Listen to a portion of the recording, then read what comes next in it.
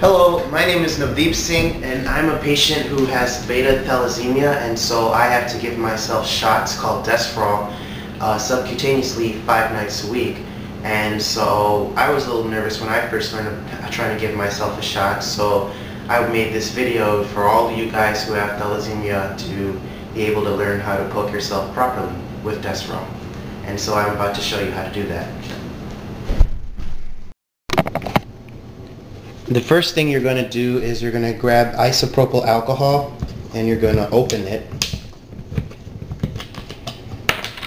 And you want to make your area that you're working on sterile, so you want to pour just alcohol on your table and cleanse like that.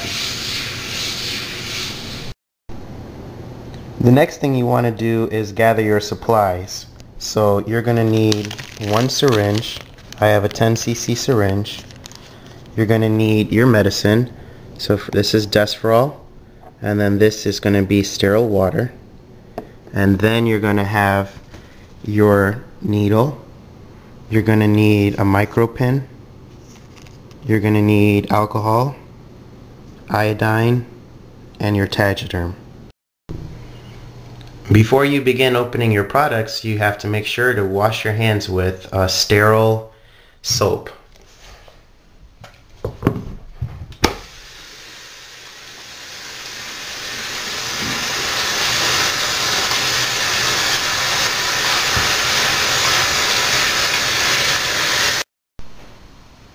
Now that your hands are clean and you're on a sterile area, you can begin removing the caps of your medicine. So I remove the caps, stoppers, and then you can pour alcohol uh, just to make sure that the area on top is sterile.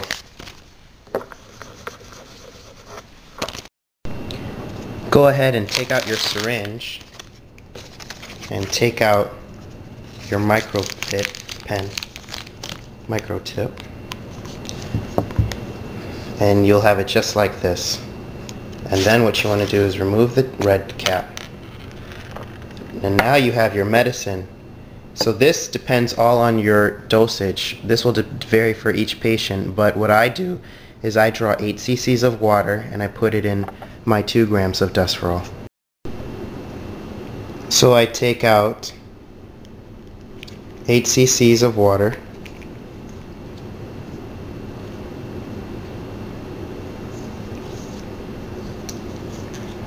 That's just around 8 cc's. And I put it in my 2 grams of Desferal. And then I shake.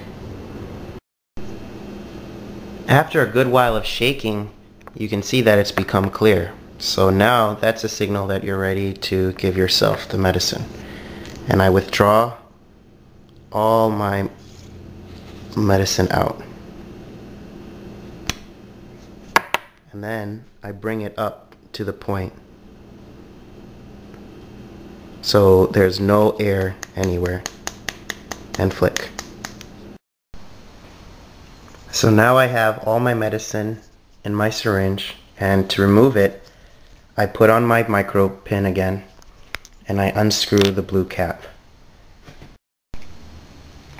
Now I remove my needle out from the packet and I look for this tip and from here I will connect it to the syringe. So I take my syringe and I take my cap and I put it in like this and now I'm going to slowly start to push the medicine in just so I get a prime. Now once I see that drops are coming out of the needle, I know that my medicine is primed. So I have drops now. So it's all the way and I check to see there's no air bubbles anywhere in the tubing.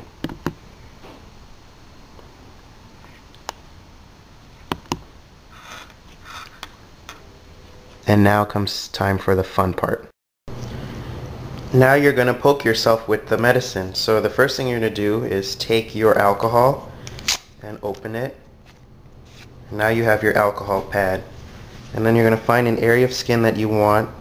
And so I'm going to choose this area. for your subcutaneous poke and you're going to wipe it with alcohol and you're going to wait about 30 seconds.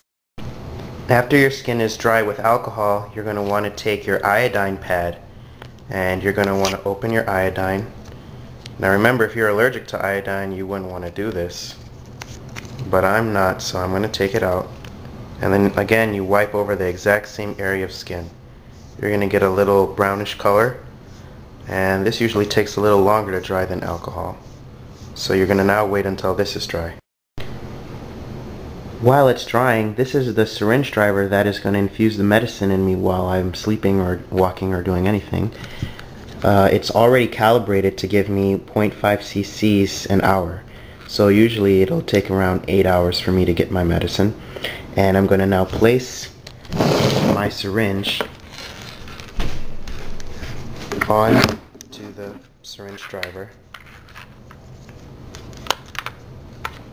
I'll put it on here and then I fasten it like that.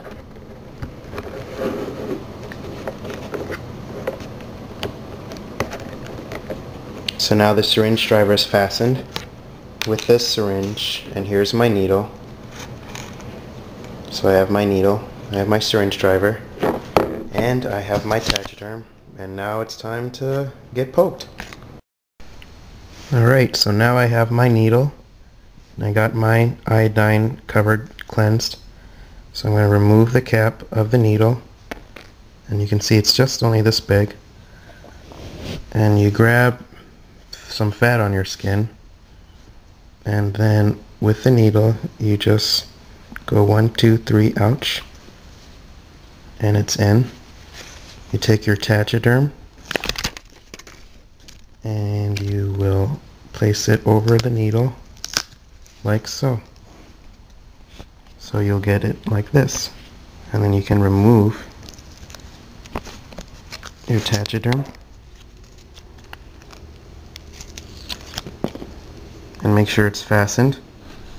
And then with your syringe driver, you have to make sure you turn it on. And you're going to see a flashing light to show that it's working. And then you can just go around and do your daily business. And that's how you give yourself a shot. Thank you.